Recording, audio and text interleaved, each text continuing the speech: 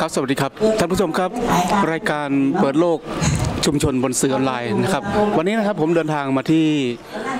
เทศบาลตำบลบ้านเหล่านะครับอำเภอแม่ใจจังหวัดพะเยานะครับ ที่นี่นะครับมีการอ่าจัดการฝึกอบรมนะครับ เรียกว่าการฝึกอบรมโครงการพัฒนาส่งเสริมอาชีพ ดอกไม้ประดิษฐ์นะครับแล้วก็เทคนิคการจัดดอกไม้แบบมืออาชีพนะครับ ซึ่งดำเนินการฝึกอบรมระหว่างวันที่ 11 ถึง 15 กันยายน 2556 นะครับ โดย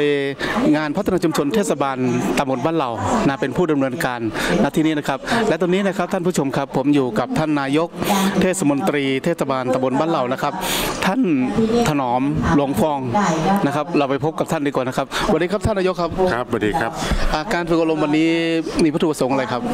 ครับสำหรับการอบรมการประดิษฐ์ดอกไม้นะครับและในวันนี้นะครับก็เอ่อวัตถุประสงค์ก็เพื่อที่จะเป็นการฝึกอาชีพนะครับให้กับกลุ่มแม่บ้านนะครับ ซึ่งส่วนใหญ่แล้วก็เป็นผู้สูงอายุนะครับที่อยู่กับบ้านแล้วก็ส่วนใหญ่ก็ไม่ได้ประกอบอาชีพอะไรนะครับ ก็ให้แต่ละหมู่บ้านนะครับที่มาที่นี่นะครับซึ่งตำบลบ้านเหล่าเรามีทั้งหมดอยู่ 14 หมู่บ้าน แต่มีกลุ่มที่เอ่อทำการประดิษฐ์ดอกไม้แห้งอยู่ขณะนี้นะครับทุกวันนี้ก็มีอยู่ประมาณ 8 หมู่บ้านนะครับ เพราะฉะนั้นในแต่ละกลุ่มนั้นบางครั้งเท่าที่เราสังเกตดูผลงานก็ยังไม่ค่อย ปราณีตเท่าที่ควร เพราะนั้นถือว่าก็ได้รับการร้องเรียนนะครับจากกลุ่มแม่บ้านแต่ละหมู่บ้าน อยากจะให้ทางเทศบาล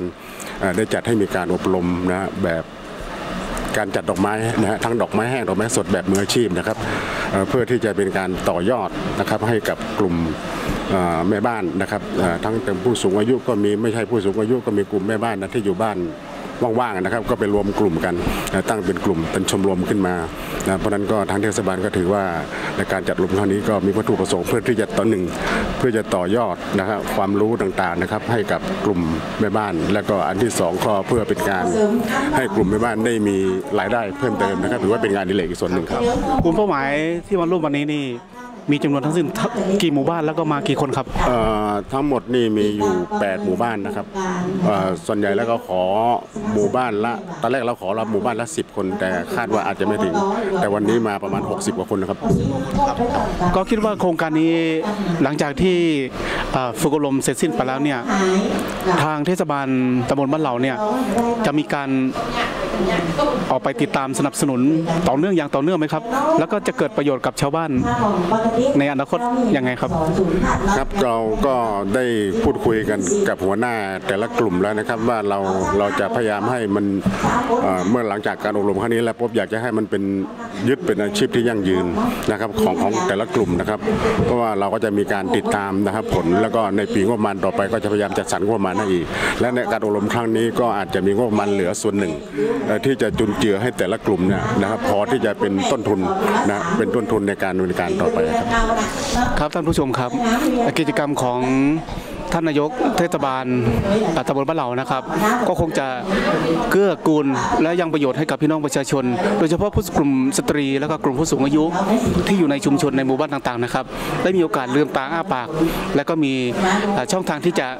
สร้างงานสร้างรายได้ให้เกิดขึ้นกับชุมชนนะครับและที่สำคัญอย่างยิ่งก็คือ